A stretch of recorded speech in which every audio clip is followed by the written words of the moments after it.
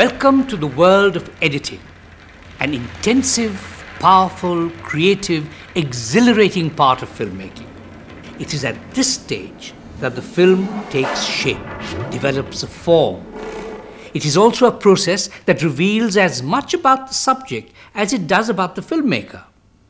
So, let us see how editing brings ideas and a story to images, gives them a mood, a poetic lyricism. It's all about storytelling. For documentaries, the editor often plays the role of a second director.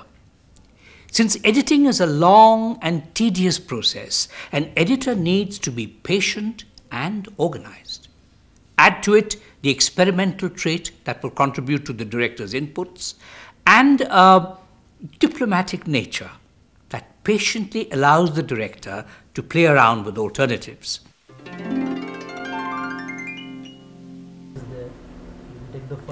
Editing has many phases, each demanding a different kind of attention to detail. This requirement is an intrinsic part of editing. In terms of the technical and conceptual quality of a film, it never pays to rush through any stage of an edit because a variety of important decisions are taken at this stage, which is possible only if the preparatory foundation is strong.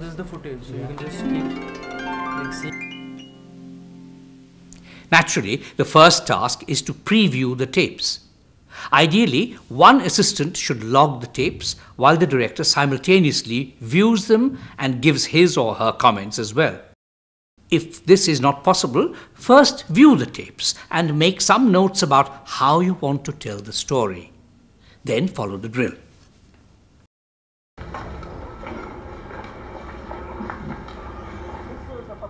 Step by step, the entire location footage must be previewed and logged for conceptual and technical details.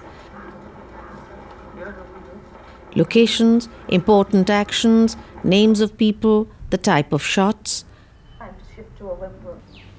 A good log sheet would look something like this neat, bold, with markings that make tracking information about the shots and interviews much easier during the actual editing.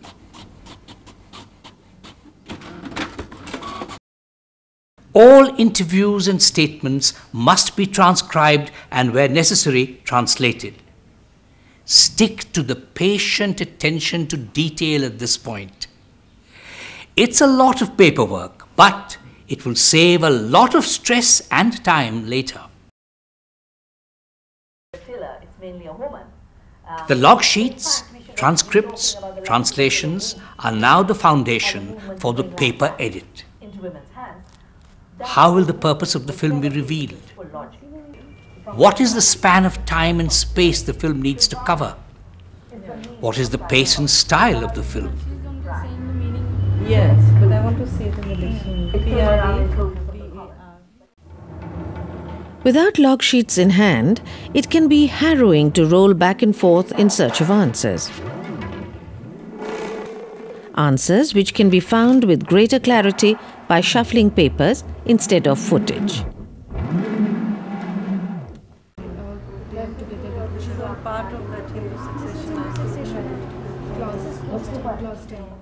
The rough segmentation can be done once the finer points of all the log sheets and transcripts have been reviewed.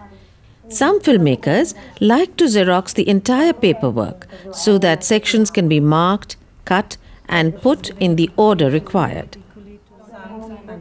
It is only now that actual editing can begin, when shots will be combined and time condensed to construct a story.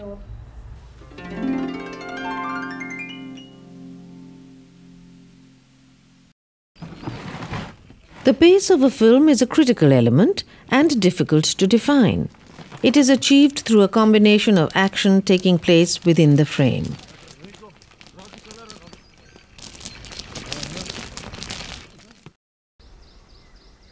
The camera movement given to an image.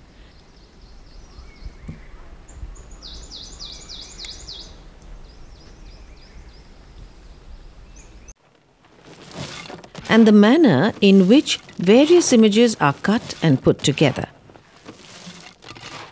In what is termed a well balanced video, the pace can never be static.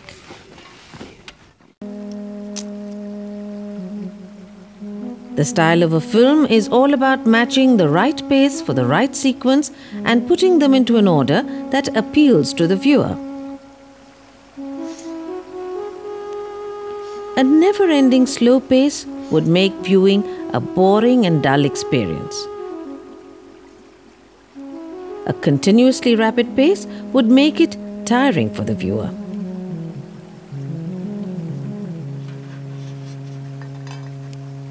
Sequences, with their accompanying content and intent, demand their own pace.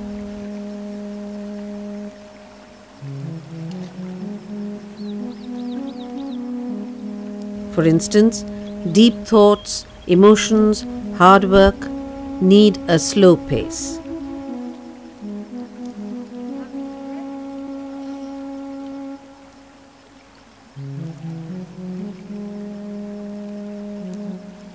Thrill, excitement, suspense demand a fast tempo. In 1970, torrential rains lashed the region.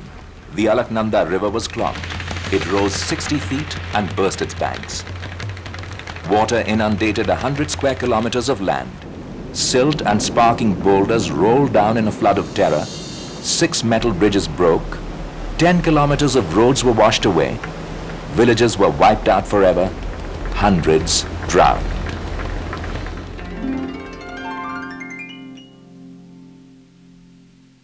Each filmmaker follows a personal methodology, but by and large, there are two ways to go ahead edit sequences in line with the narrative, or edit loose sequences of various segments and locations separately, then put them in the order of the story.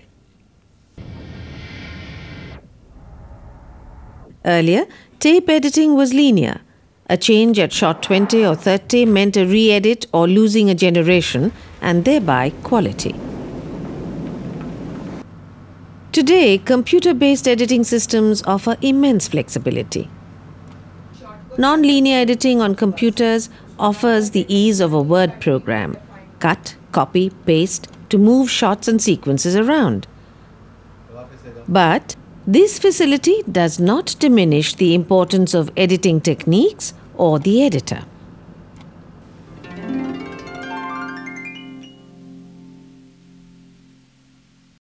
As sequencing begins, the focus is on the basics. Editing is a process of presenting the visual and oral evidence for a story. For the evidence to have the proper impact, each scene in every sequence must have space for the image to speak for itself, the image to convey symbolic meanings, effects, music, and words to be woven in. This complex requirement has to be fulfilled creatively within the context of cinematic grammar. Film has a language. The main aspects of the theme are like chapters. Smaller stories within these aspects are the paras. Different scenes of those stories are the sentences. The dramatic elements of the cuts are like punctuation marks. The order in which the cuts are placed create the syntax.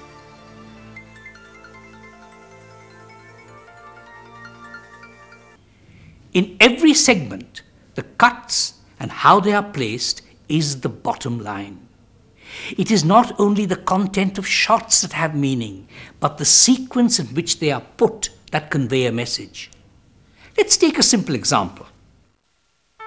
There are three shots a laughing child, a crying child, a lion. By merely rearranging the sequence of shots, the message changes. A happy child started crying after seeing the lion, or a sad child became amused after seeing the lion.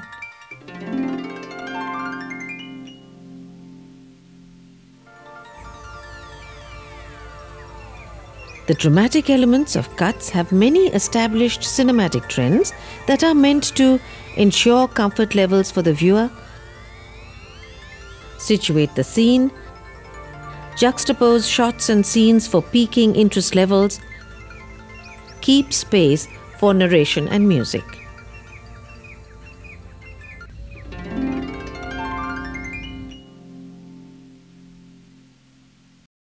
The duration of shots and their matching eye level create comfort levels for the viewer. The exact nuances in seconds and frames vary with the times and the personal choices of the filmmaker. Yet, the basics remain the same. Long shots must stay longer than a mid shot. Mids longer than a close up.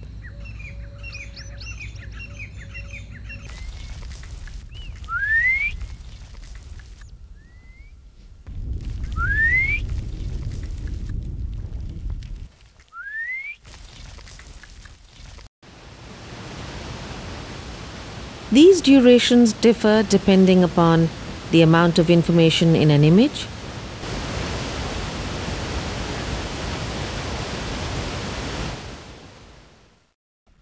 the viewer's familiarity with the information, the type of action, and the composition.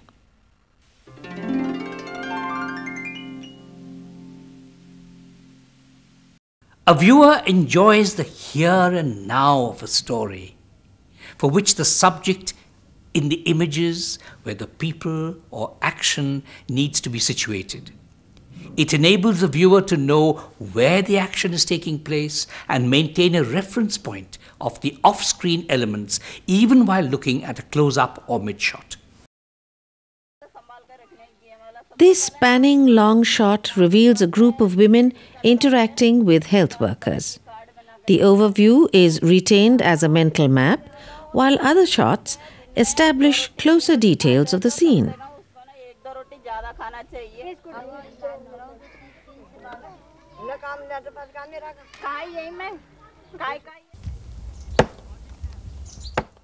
A close shot may be the dramatic opening for a scene.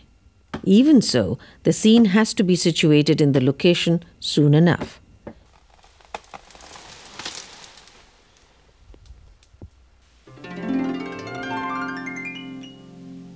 A film that is not static will have constantly peaking levels of interest. Juxtaposition of shots, scenes, and sequences is the key editing element for peaking viewer interest. It can be achieved by playing with the pace. It can also be achieved by evoking contrary responses with visibly contrasting images.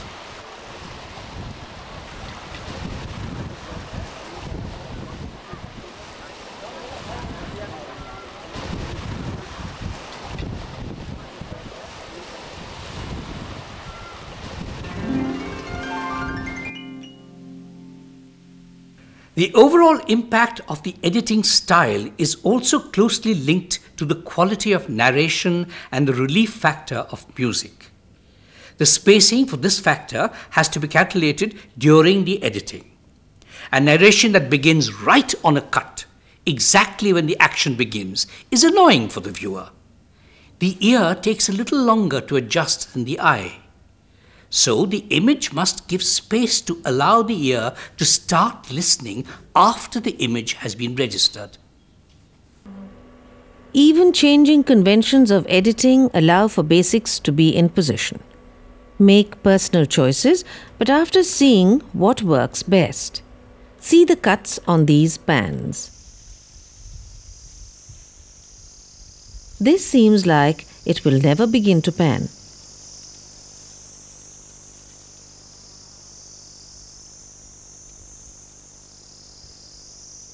The next cut is right on the movement.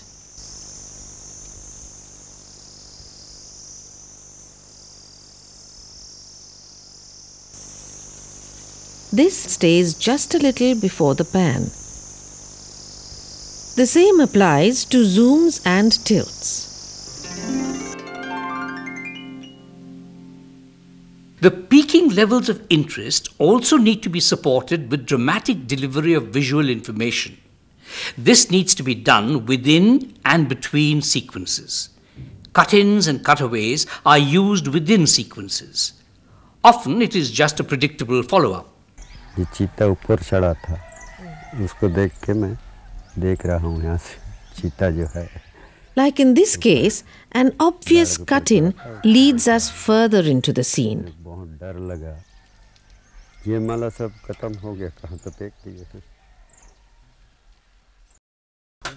Similarly, a cutaway brings relief to a lengthy scene.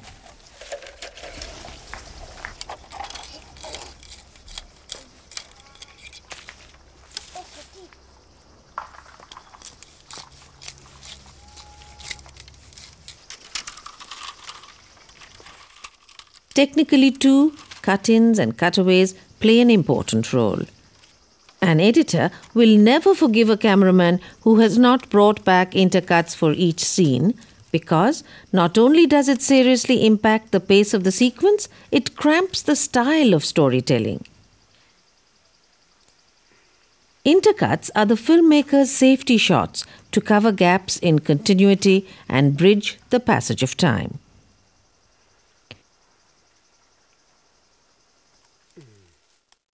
But it is possible to use cut ins and cutaways more productively for a tantalizing effect.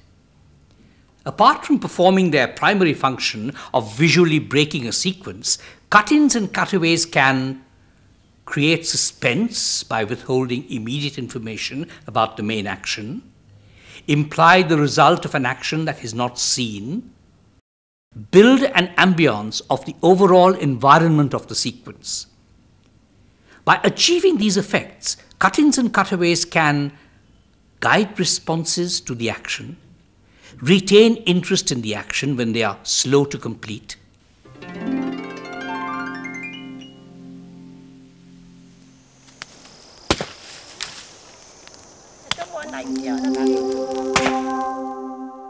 Between sequences, fades, dissolves, and wipes perform similar functions to transit time, location, action, while retaining viewer interest by virtue of the visual change.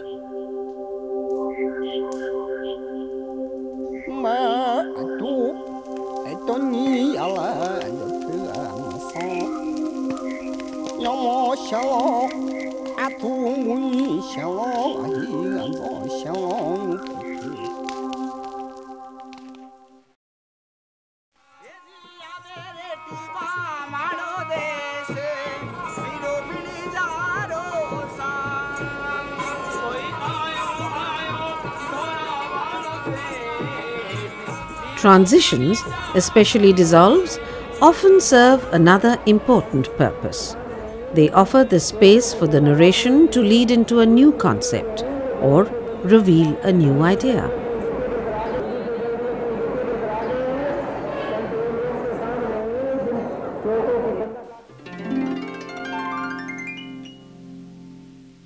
By the time you reach the end of the rough cut of the film, mental and cinematic fatigue is bound to set in.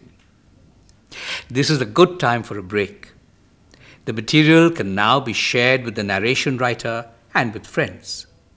Some feedback at this stage will enable modifications to the storytelling, whether it is to tighten, extend, or add sequences or fill important conceptual gaps through the narration. The inherent editing style should guide the viewer through the storyline. Hopefully, the pace of editing and narration transpose each image and sequence onto a parallel level of thought and understanding. Narration, then, has an entire gamut of possibilities. It can enhance all these processes and carry the story to its fullest potential with suggestion, implication, direct information, and supplementary conceptual thoughts that visuals cannot provide.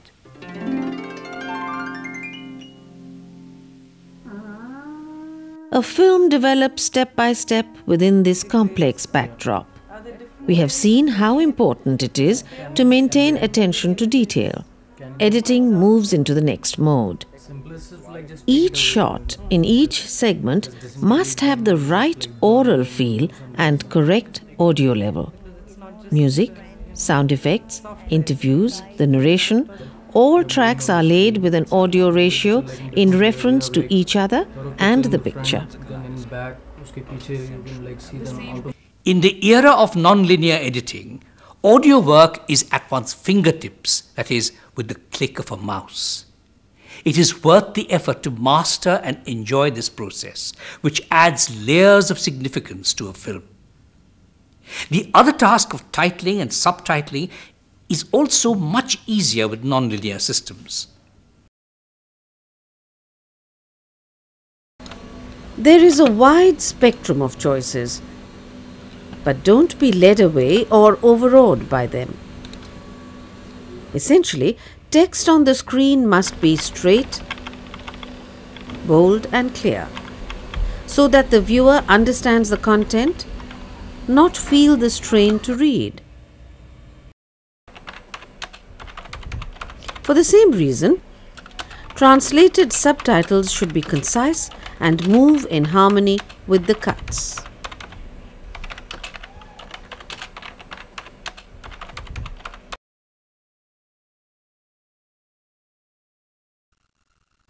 So, the tracks are mixed, the titles are in position. This is usually the last chance to make any major change before a submission. View the film in absolute privacy with no disturbance. All the prescribed protocols for color bar, black, clock, logo should be finalized at this point. When going for a tape transfer, use options like broadcast rendering that most non linear systems now offer.